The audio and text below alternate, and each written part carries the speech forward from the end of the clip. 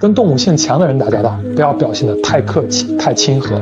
什么是动物性强呢？你可以想象一下那些群居动物的样子，比如猴子呀、狼群呀，对比自己强的俯首贴耳，对比自己弱的呲牙咧嘴。对待这种人呀，你在行为上越尊重他们，他们就越偷奸耍滑；你越跟他们好好说话，他们就越认为你好说话。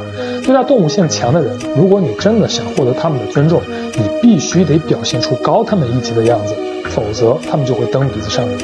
举例子之前，我先说明啊，咱没有歧视任何行业或者不尊重人的意思。